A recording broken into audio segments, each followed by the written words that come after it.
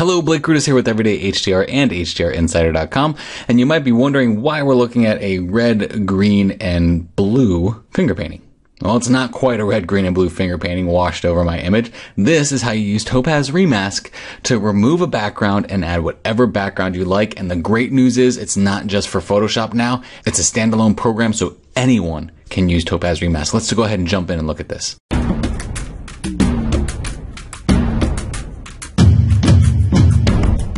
All right, so let's take a quick look at what Topaz Remask 5 has to offer for us. Now, if you've never used Topaz Remask before, what it's used for is it's a masking software that can really help you separate parts of your photograph. So for this one, uh, I tried to do some long exposure here, but this sky is really just dying to have a better uh, background on it for the sky area. So what I'm going to do is I'm going to go to Filter, and in filter, go to Topaz Labs and go to Remask 5. Now, if you're familiar with Remask 4 or any of the Remask versions beforehand, there's not going to be a whole lot that's different for you here in this interface. Everything will be very similar to what's going on in Remask 4. Now, if you saw, I jumped in from Photoshop. The biggest difference right now with Topaz Remask 5 is that now you don't have to have Photoshop to use Topaz Remask. It's also a standalone program, which makes it really awesome for people who don't have Photoshop or something with that kind of capability.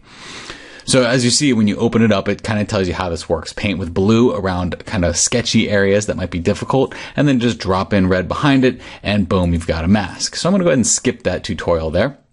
I'm just going to show you how my kind of workflow goes here.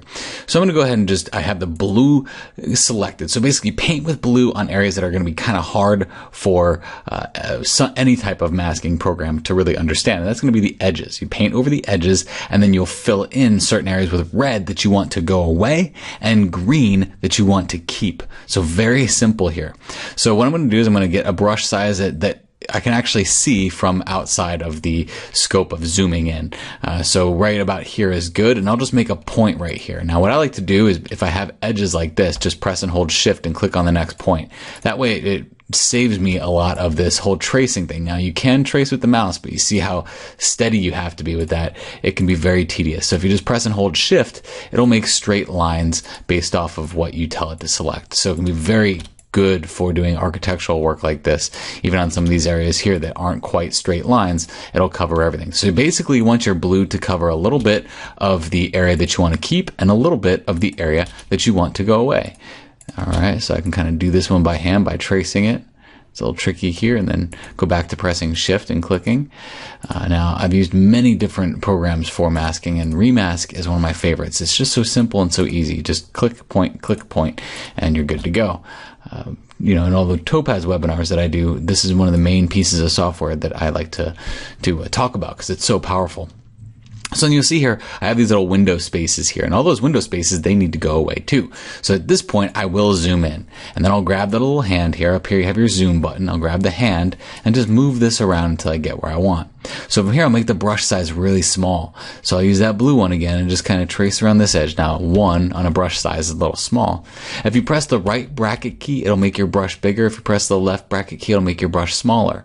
So I'll just trace right around this window here and then keep going around this.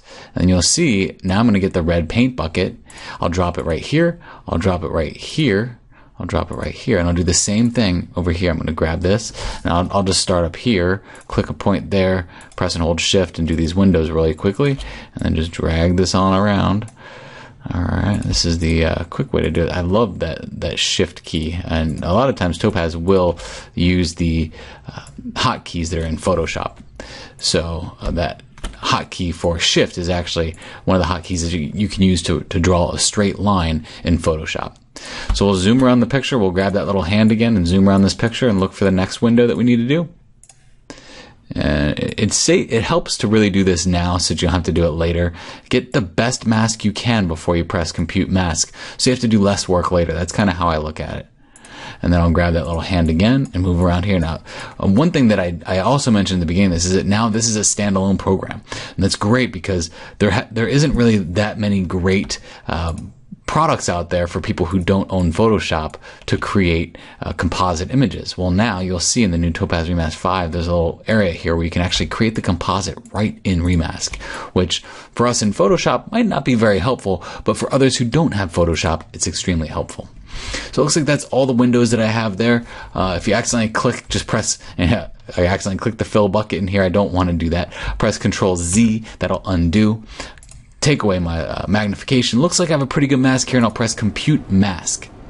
So once I do that, Remask is going to run through its algorithm here and it's going to create what looks like the perfect mask. You're going to see behind here all these little squares. Those are transparency squares to tell you that now there is nothing back there. But one of the things I like to do is actually click on this little mask button here to make sure that my mask is good. What you'll see here, like right here, especially, you see like these little, what I like to call little sprites of area that are coming up that are kind of gray. Well, that's an area that Remask didn't quite get computed the way I wanted it to, so I'll just paint red right here. Now, I'm not going to touch inside this area. I'm only going to touch just on the outside, and it'll fix all that. Like this area right here, where those bricks should be there, I'll use green and just click on that and just drag it around and then that'll fill in those areas. Again, if it doesn't fill them in completely, just do a couple little clicks of green. You don't have to trace it all and just go around your entire composite that way. So I'll go ahead and zoom out and I'll zoom back in, get that hand brush and move it around so you can see here. I need to go ahead and paint a little bit of green over here to get that back. And it doesn't have to be perfect, but if you accidentally go outside, you see how we got one of those little sprites? Again, just switch over to your red tool and click on that. So we'll get that green, just kind of go along the sides here. Now, for the sake of the tutorial, I'm just going to go ahead and, and, and speed this up a little bit. I'm not going to go ahead and worry about all of these areas here too much. I'm just going to show you what's new in Topaz Remask 5 that you didn't see before. Now down here you have something that says background.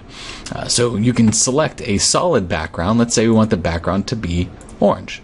Now, where this would come in handy is, uh, like I see now, this is very handy for showing me areas in my image that maybe didn't get a very good mask. So you can see here, like this blue area right there. Well, that shouldn't be blue. That should go away. So just click right there and that'll kind of help me build that. But what this is really good for is like is product photography. So this solid fill. Maybe you shoot a product, and that product uh, you want on a white background, but it was shot on something blue, or maybe it was a glass that was shot uh, on your countertop, and you want to segregate it. Well, you can paint around that glass and then just fill the background with blue, green, red, gray, whatever whatever color suits your fancy. Now let's go ahead and zoom out here. We have another thing over here called image. So if I press image, you can actually replace the background with an image somewhere else. So I have a bunch of clouds that I've selected. Over the years, I, I take cloud pictures. If I like the way the clouds look, I'll go ahead and snap a picture of just the clouds so I can drop them in later. So here, I'll take this tone mapped cloud image here and put that in the background and see what happens. So you can see we get this nice moody uh, background there. Uh, I don't really care for this one too much, so let's go back to that image there and we'll replace that with another one. So let me uh, cancel out of here. We'll go to image and we'll select a new image. I want to try this one, so open this image. And this image will probably be a little bit better because there's some nice, uh, I guess, texture happening in the clouds up there with some little pockets of of uh, what looks like almost a storm coming by. So I'll move this down so that the trees tree line goes behind those trees there. Maybe even make this a little bit bigger so we can get more of that uh, cloud area up there with the, all the undulations in there. And we'll just move this right over here just like that. Now you have some controls down here for that background area. So you can make that background a little bit brighter, which it looks like it would need to be a little bit brighter for this image. So just manipulate that a little bit, increase that brightness. That looks about good. You know, maybe move that down just a little bit.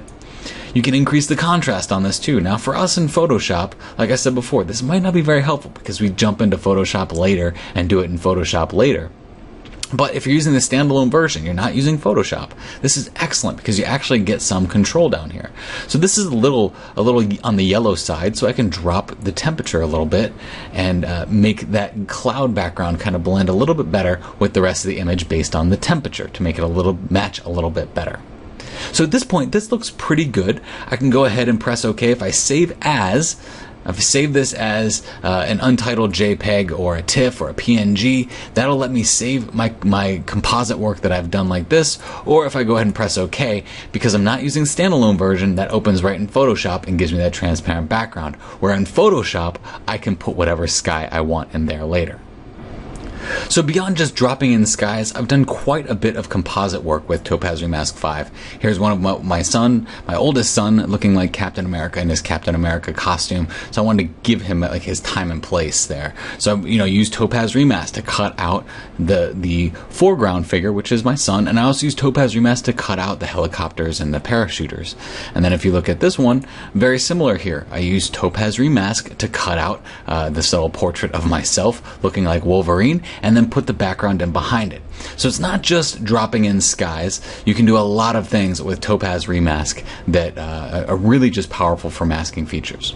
So again, my name is Blake Rudis with Everyday HDR and HDRinsider.com, and I just want to thank you for watching this tutorial. If you like it, please subscribe, share it, send it to a friend, and check out Topaz Remask at the Topaz Labs website. It is a great piece of software to add to your collection, whether you're a Photoshop artist, or now, if you're not in Photoshop, you can use it outside of Photoshop too because it is a standalone program. Thank you very much again for watching this.